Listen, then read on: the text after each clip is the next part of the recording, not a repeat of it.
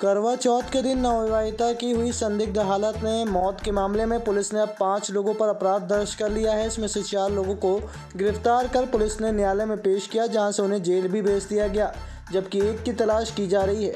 हम आपको बता दें कि रीवा शहर के विश्वविद्यालय थाना क्षेत्र अंतर्गत इटौरा में रहने वाली आरती पति रोहित उर्फ़ परमानंद द्विवेदी की संदिग्ध परिस्थितियों में करवा चौथ के दिन मृत्यु हो गई थी।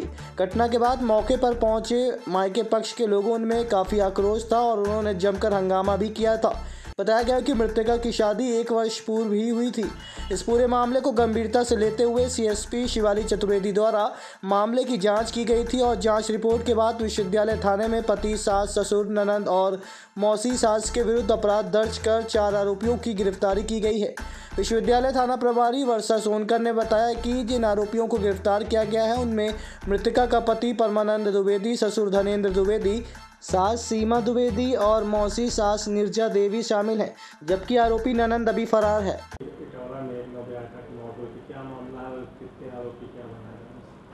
एक नवंबर को इटौरा में एक नवविवाहिता आरती तिवारी द्वारा आत्महत्या की गई है। आत्महत्या है या कुछ और है, इसकी जाँच की जाएगी।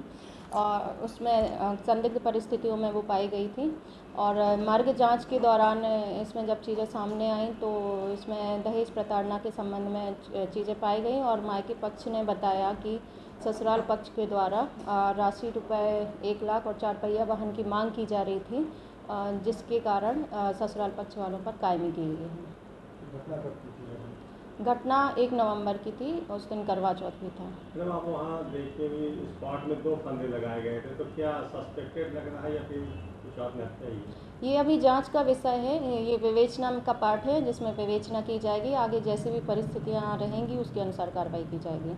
इसमें कुछ आरोपी गिरफ़्तार किए गए हैं? इसमें पाँच आरोपी बनाए गए हैं मृतिका के पति को सास को ससुर को और ननद ननद को और साथ ही एक मौसी थी उनको आरोपी बनाया गया है और अभी वर्तमान में चार आरोपियों को गिरफ़्तार कर लिया गया है।